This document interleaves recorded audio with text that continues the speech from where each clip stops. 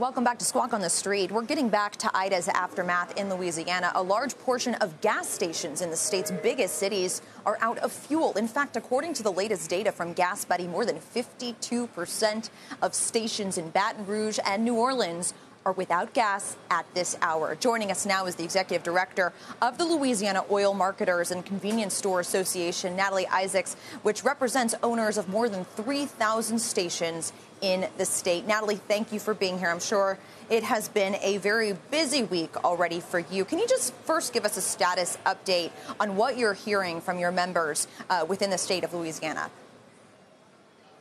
So, um, obviously we were hit, but before the storm comes is when we really started, um, you know, working big overtime in terms of trying to get people ready for the storm and getting people out of um, harm's way with evacuation routes and keeping that um, busy. We first assessed the uh, damage of what was going on, and um,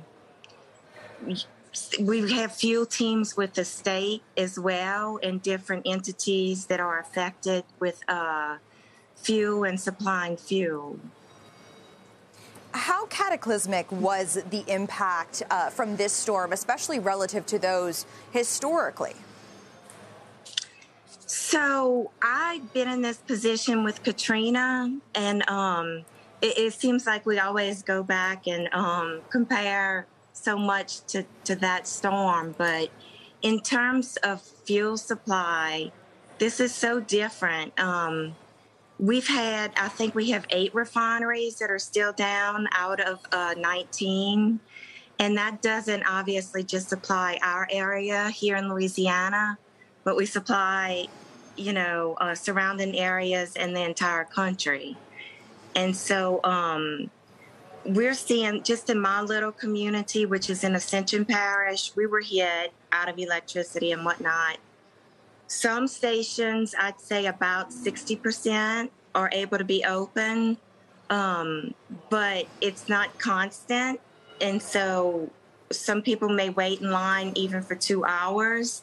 And then by the time that they get their chance to fill up, it's actually um, the lines are dry if that makes sense. Um, the lines for our guys picking up at the refiners that are open, um, typically you may be able to get a load of fuel in 30 minutes. And prior to the storm, some waits for like four hours. Um, in fact, this is this is this is kind of a story that stayed on my mind. But I have a member that actually sent a driver to Pennsylvania the same time, he sent a driver to Opelousas, Louisiana, which is around Lafayette. And the line in Lafayette, the Opelousas terminal, was so long, the driver was able to go to Pennsylvania and back and load fuel at stations. The driver in Opelousas was still in line, you know, waiting to get fuel.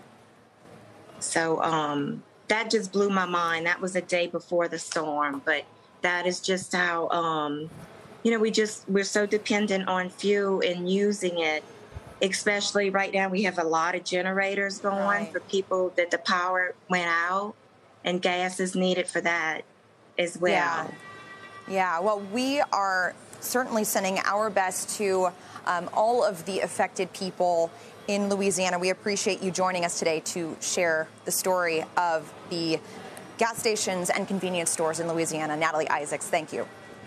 Thank you, Leslie.